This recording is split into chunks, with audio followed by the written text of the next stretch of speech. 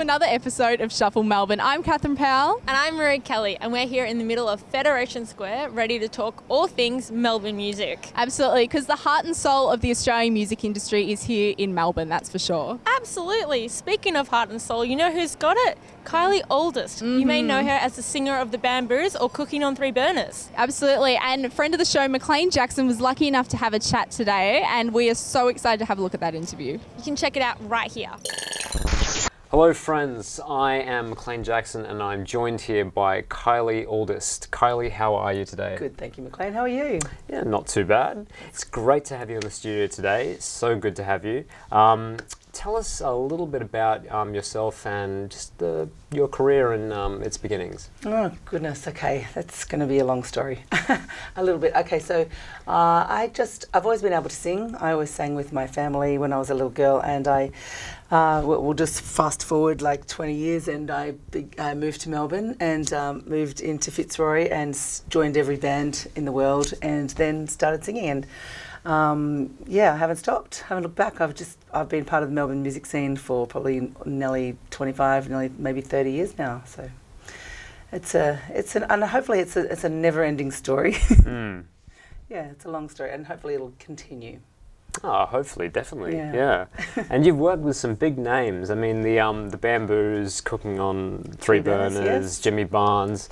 Uh, who has been your favourite to work with? Do you think? Uh, well, definitely, I'd say touring with the Bamboos has been that was that was a big thing in my life. Uh, we went to England. I'd never been to England before. We went to just about every country in Europe. Like probably did 29 gigs in 30 days or something like that. It was very strange. Also with Cooking on Three Burners, we did the same sort of thing. And it's the link to those two bands was Lance Ferguson. So we both worked together. We're like very close oh, and okay. good friends and worked together for a long time in that way. And it was just such an experience for me to go to Europe and uh, see the world and be in a band. And as my brother said, you know, at the end of the night, the place you want to be is the band because that's the fun place to be, and everyone wants to talk to you at the end of the night. And you know, like touring overseas can be interesting, but if you don't know anybody, if, or if you're just on your own, or if you're just with one other person, you know, it can be kind of boring or you know like if somebody wants to go to bed and you want to go out or this that and the other but if you've got like eight or nine people to play with the bamboos are really good fun. Yeah. So yeah i got to do that. And i imagine that kind of that band atmosphere must have been great to to kind of grow up in and also develop as an artist as well. Oh amazing. Well apart from the fact that they're all amazing musicians and um, i can't play an instrument or even read music. So they're all very very uh, like uh, very skilled and then um, jazz musicians, they're perfectionists and they taught me a lot. And um, just to be able to be, you know, able to play with them and sing with them and, you know, just be in that same level has been such a treat for me and such a privilege, really. Oh, excellent. Mm. And your last album, of course, was Family Tree. What have you been doing since then? Well, I guess we, we, looked at that the other day, and how, how long has it been? It's almost three years, I think, since I wrote that. Is that true? That's a bit silly, isn't it?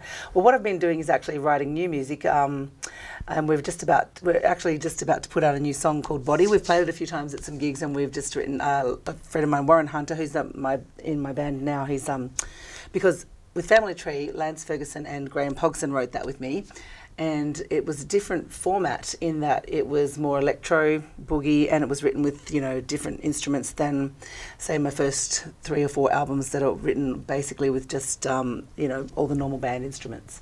So this was written on electro stuff. So now i'm thinking okay so how do i play this?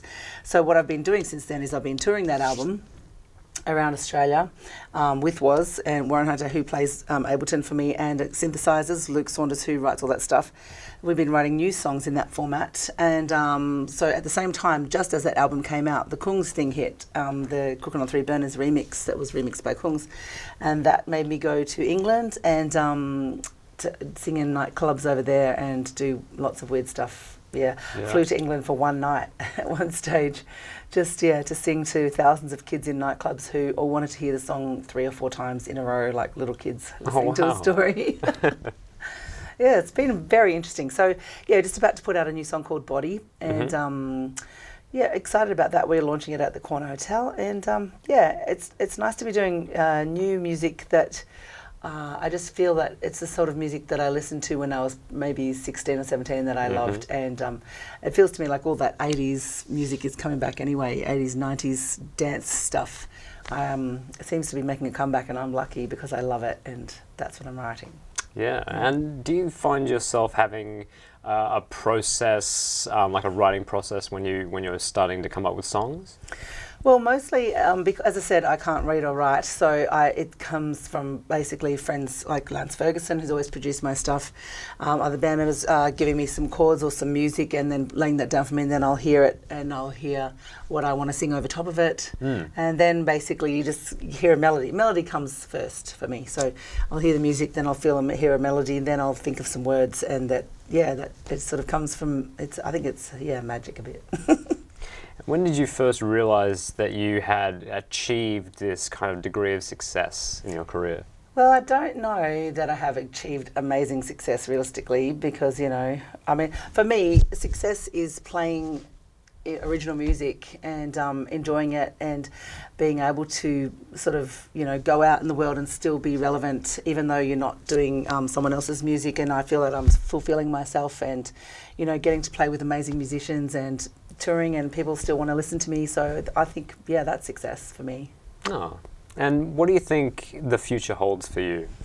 Well, I don't have a slight clue. no, I don't know. Um, well, we all, we're always trying to write new music. We're always thinking, every, all, music, all musicians are always thinking about the next thing, the next thing. It, it's never enough that, you know, you've done something. it's like it's like the bank has to make, you know, mm. a record profit every year. But uh, music is not about money, it's my life. And I can't stop doing it. So I just would like to continue that. Um, but yes, I mean, I'm, I'm a, a, mother and a wife, and I love my life. I have a great, you know, I have a great a lot of friends and family, and um, I think I just I would just like to keep enjoying music if I can. Well, that sounds like a plan, doesn't it? I think it is. well, thank you so much, uh, Kylie, for coming on the show today. It was great to hear your story. Thank you so My much. My pleasure. Thank you so much. Thanks for talking to me.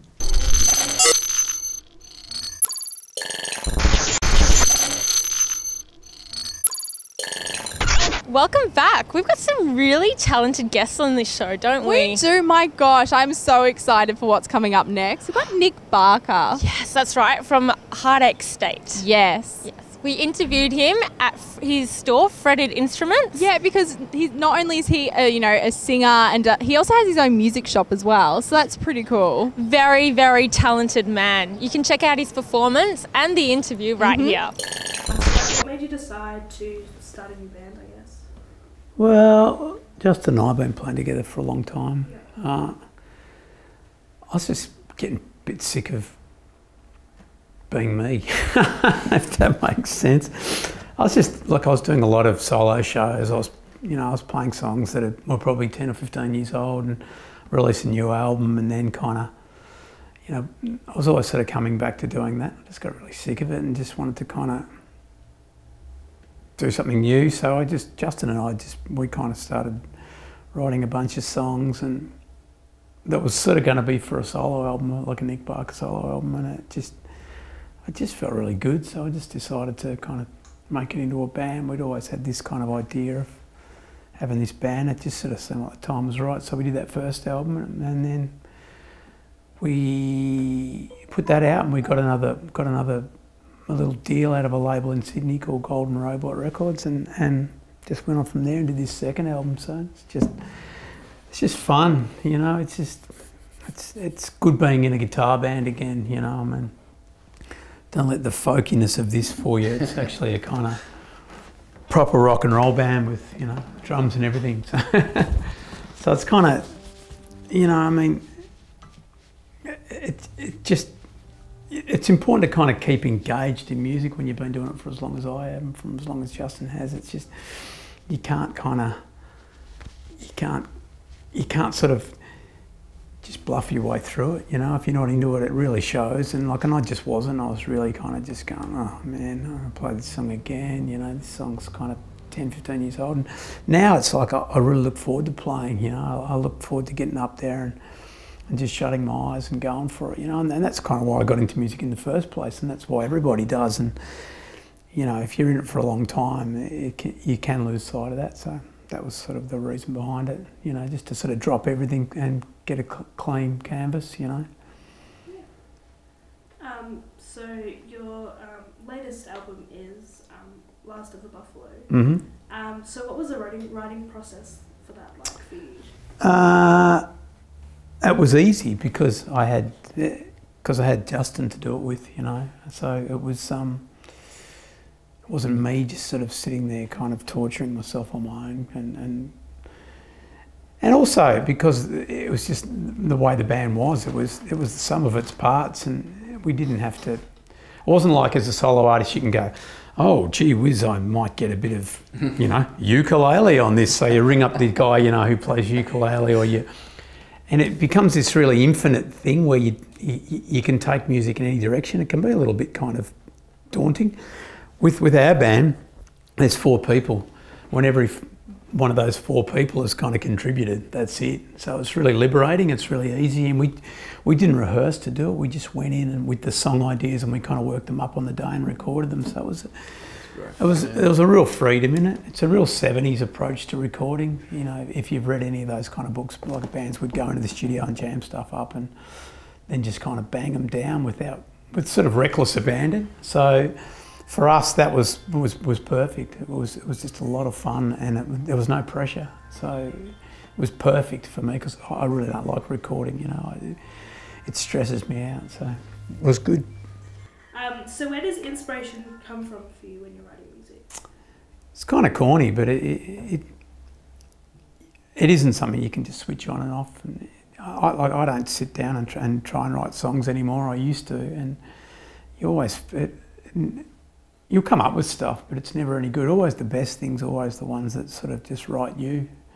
And lots of songwriters say that, and as a, it does sound cheesy, but it's true. You'll just you'll just sort of you know pick your guitar up, and something will come out, and it'll just stick, and it's generally pretty quick. And I'm pretty I'm pretty disorganised with it. I've tried to be organised and have a notebook and all that kind of thing, but generally I'm still writing lyrics as as the vocals are going down. Know, so it's the inspiration comes, but it's it's a messy kind of inspiration with me. It's not a it's not it's not some sort of dark art process. It's just as simple as having an idea and recording it onto my phone and then forgetting about it and coming back to it. So, but it works. You know, I've written a lot of songs and I've all, written them all in the same way. So, must be doing something right. And, hey, Tom Petty did it that way, so it can't be all bad. Um, so obviously you've had you know a lot of uh, music experience, did a lot of writing in the past, um, and so like does this uh, did your past music influence what you do and what you write now? Well, I've always been into always been into guitar music, seventies guitar music, rock and roll stuff that guys play. You know, that's always been my inspiration. So, and that was pretty much what I've done ever since I got into music, it was always in one form or another. Some of it was a bit artier than others, but for the most part, it was it came down to playing live with people and that chemistry. And so, with our band, it's just continued on for that. As I said, I did a lot of solo stuff, you know, playing acoustic guitar and sort of that was great. It was a good money spinner, and it was also a good way to get around the world and, and play shows. Like I did that all throughout Europe and but it just gets to the point where you kind of you just don't have anything more to. Well, I don't, don't have anything more to say on in this kind of format anymore. So I wanted to get in that band and have it that primal thing again. So it's just something you keep coming back to. I guess it's what I listened to when I was a kid. You know, seventies guitar based music. So same as Justin. Yeah, for sure. So. Um, do you think that you'll ever put music if you had asked me that about two and a half hours ago, I would have said, yes, definitely. Oh, you can't. I mean, you, in order to quit music, you would have to not ever pick up a guitar again, and I don't think that's going to happen. I have plenty of time. It's frustrating. Believe me, it's frustrating. It's really frustrating. It's competitive.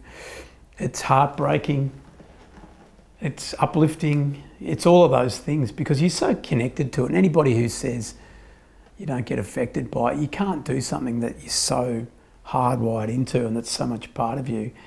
And if, if you don't get on that festival, if, you, if someone says something really nasty about your record, or if people don't go to your gig, all those sorts of things really stab you in the heart. They really, really do. And of course, you get thick-skinned, and, and there's all sorts of reasons you can say, well, oh, well, that, you know, doesn't matter. That didn't happen for this reason or that reason. But it's still, it's, but it's, you know, my musical career's been like this the whole time you know, something, it'll go flat and then something good will happen and then it'll be like, wow, it's great. So it's, it's an odd way to live your life, even on the level that we're talking about. I can't imagine what it would be like for somebody who sells millions and millions of records and, yeah, they think that they're having a bad day when they've sold only 200,000, whereas we'd love to sell 200,000. So it's, it's all relative, but I don't, I, plenty of times I think I'd like to stop the kind of chasing this weird goal that we all have. But I don't think I'll ever quit altogether. About you? No. Not unless the uke business really takes off. yeah. um, so you're going to do a performance. Yes. Today, yep. And what will you be playing? Uh, we're going to play a song of Justin's called Barrel. So we always open the set with this one, so it's a good one. So.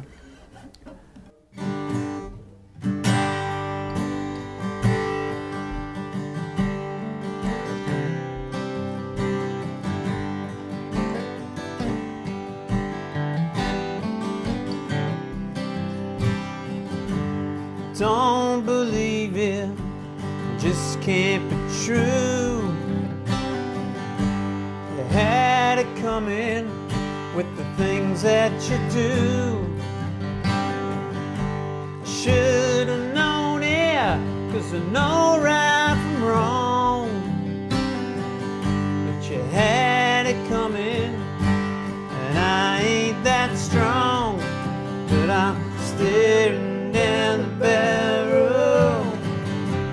Got my sights on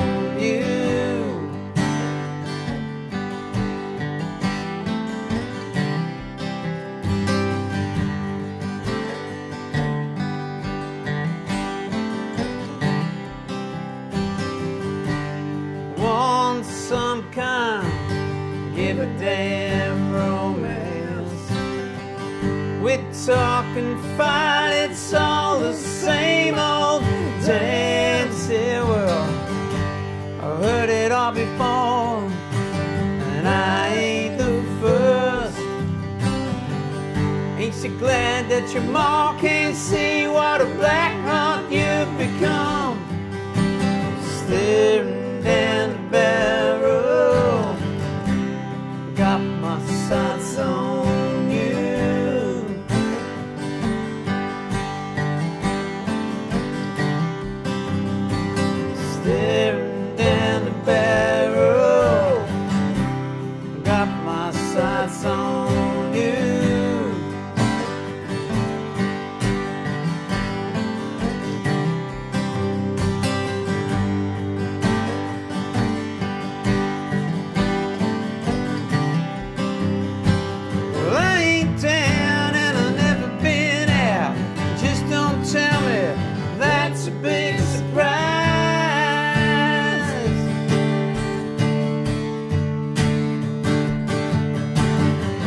Take my hand, take my whole life to the end. You know